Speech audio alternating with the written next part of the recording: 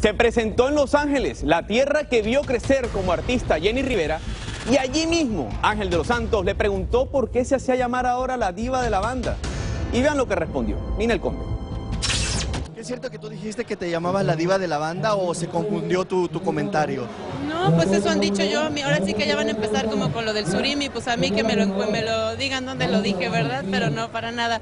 Creo que es de mucho amarillismo. Lo importante aquí es hacer el trabajo para la gente, am, hacer las cosas con calidad y con profesionalismo y que la- y a la gente le guste, ¿no? Ya el chismerío, ya la verdad no, no me interesa.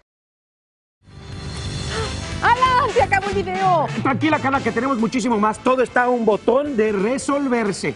Miren, suscríbete aquí a nuestro canal de YouTube. Sí, suscríbete al canal donde puedes ver tips de belleza, salud y todo lo que te tenemos cada mañana. Ahora sí.